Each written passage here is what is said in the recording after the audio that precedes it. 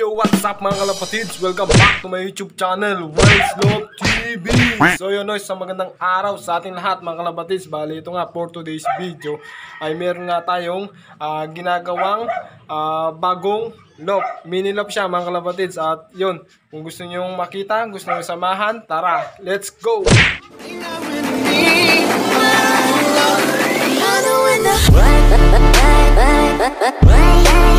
Super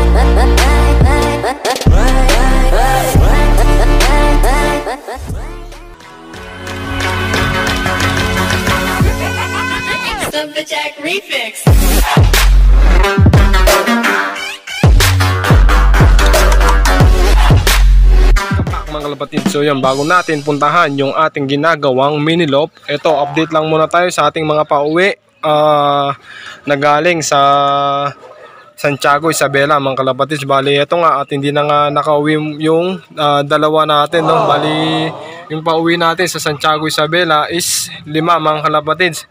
Yung dalawa yung naklak natin, tapos yung tatlo yung ah, cut-off. Yun na nga, no? Naging hard race, ah, smash ang laban sa Santiago, Isabela, mga kalapatids nagkaubusan ng mga ibon no. Bali ito na nga at hintayin natin hanggang ah, bukas ah, o sa makalawa o kahit kailan yun baka makauwi pa yung dalawa natin no mga kalapatids yung dalawa natin puti si Grisel at si ah, Bultek.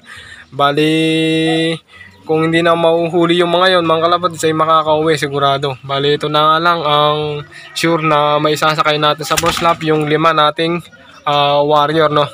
So yun, bali ito nga, ah, katapos na natin patuka, yun, ah, bigyan ko na nung inumin to at nang mapunta na natin yung ating ah, ginagawang flyer slope. Welcome back mga kalapatids at yun, ito na nga no mga kalapatids, bali ito na nga yung nagagawa natin sa ating flyer slope. Yan. Bali ito nga, bago nating loop na ginagawa. Bali 2 days na natin ginagawa yan at ah, hindi ko lang binlog nung una mga kalapatids. Bali ito na nga yung natatapos natin ngayon. At goods na goods na yung ano pagkakagawa niya. Bali konti na lang yan at matatapos na nga no. Bali flooring. ah tapos itong landing board. Bali ang sa likod ay hard deflex mga kalapatids.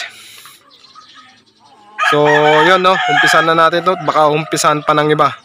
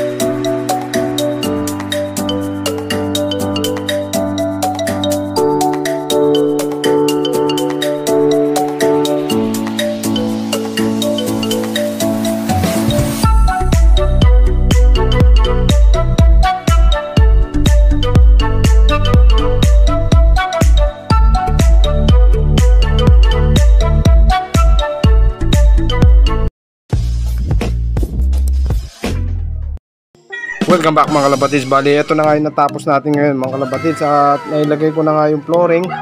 Bali, ito kahit pa paano ay pwede namang tapakan mga kalabatids. Kahit na ah, manipis na yung kanyang steel matting. Yun, dinagdagan ko na lang ng brace para kahit pa paano ay makakyat ka pa rin. Kasi ang purpose nito mga kalabatids ay ah, meron lang siyang paa at hindi siya inaakyatan. No? Bali, na nga, nailagay na nga natin yung ito no. Yan. Tapos itong kanyang release. Yun landing board na ilagay na natin mga kalapatids. Bali ang kulang nito ang kulang na lang nito ay yung kanyang bubong. Yung bubong. Tapos yung kanyang hardiplex sa gilid tsaka sa likod mga kalapatids. Okay na yan goods na goods na no? Para sa ah, beginners na may konting budget para sa pagpapagawa ng kanyang loft kahit pa paano may gastos din yan. At yun no? Ah, pero hindi siya ganun kalakihan mga kalapatids. Napaka ganda ng kanyang pagkakagawa, napakaganda ng forma. Bali, pinadesign kasi yan doon sa tropa natin, no. Pangdikit lang siya sa pader.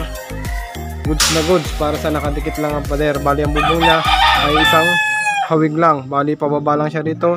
Diretso landing board. Pwede mo rin gayahin yung kay Idol, ex makina. Palagyan mo ng double door mga kalabatis. Bali, Ah, pipinturahan na muna natin to bago natin nilagay yung kanyang hardiplex dito sa side, sa likod, tapos yung kanyang bubong. Ah, pinturahan muna natin, tapos lalagyan pa nga natin dito ng ah, green screen, no? Pandoble para yung ah, pagtapak ng ibon ay hindi ah, masyadong malaki ang butas. So, yun, pati yung kanyang landing board, lalagyan din ng green screen, no, mga kalabatis. Bali, ito nga, at binilang ko, yun. Yun ang gagamitin natin. So, yun. Bali, hanggang dito na lang po muna. At keep safe. Happy flying po sa ating lahat. Peace out.